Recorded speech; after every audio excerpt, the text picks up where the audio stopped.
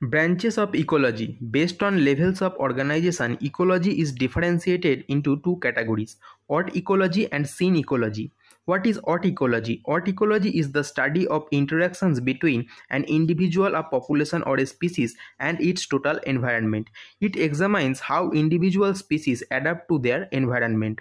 Autecological studies deal with physical environmental variables such as light, humidity, temperature, pH, concentrations of gases, availability of water and various other nutrients. What is synecology? Scene ecology refers to the study of interactions between different species living together in a particular habitat or ecosystem.